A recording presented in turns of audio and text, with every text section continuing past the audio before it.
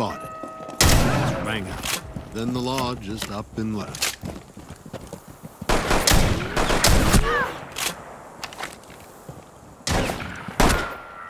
The Gravel Top gang beat the deputies.